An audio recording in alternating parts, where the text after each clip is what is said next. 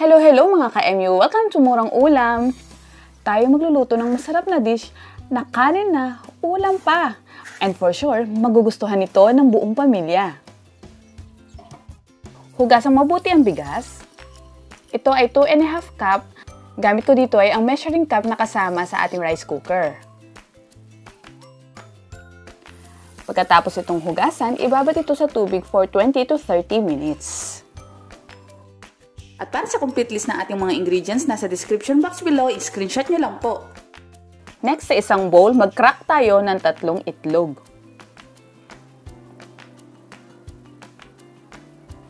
Lagyan ng konting asin at konting suka para mawala ang lansa.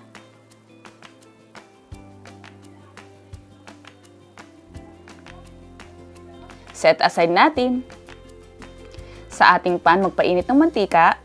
Ipan fry natin ang patatas for 30 seconds lang.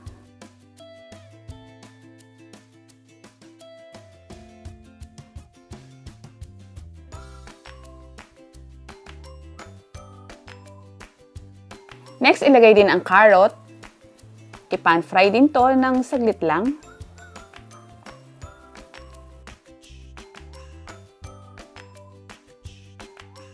Ilagay ang corn kernels at ang green peas. Haluin sandali.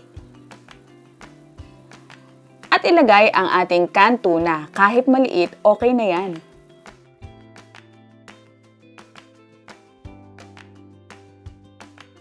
Lagyan natin ng kalamansi pantanggal lansa. Toyo, oyster sauce,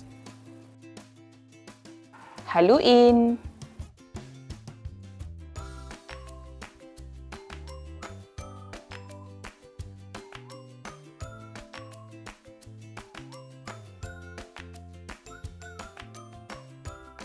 maglagay ng konting tubig,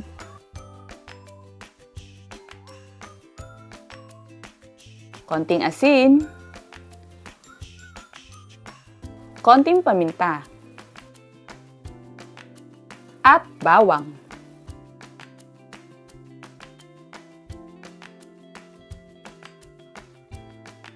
Next, i-transfer na natin ito sa ating rice cooker pot.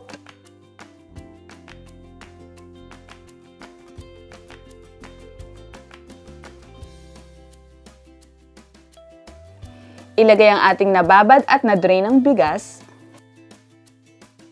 Ipatag ito.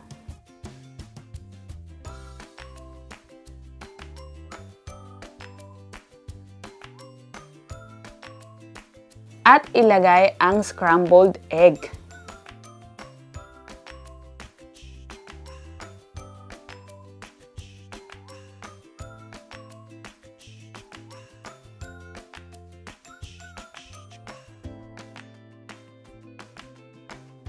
Maglagay tayo ng konting tubig.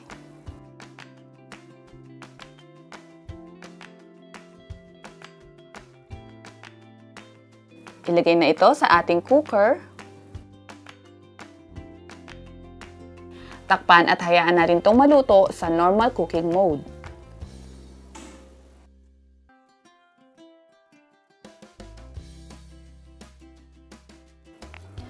Ang bango! Nakakagutom na siya actually. wow! O, diba? Ang lukot ng... Ang lukot? ang likot ng rice cooker ko.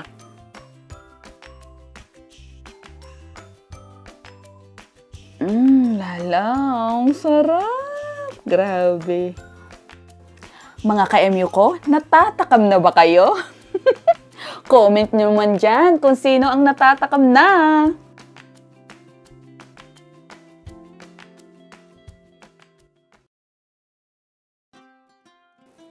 Narito na ang ating one pot meal tuna flavor.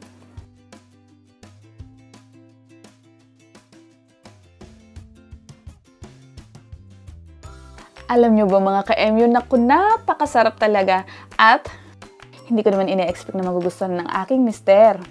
Ang sarap daw. May kanin na, may ulam pa. And for sure, magugustuhan to ng mga kids.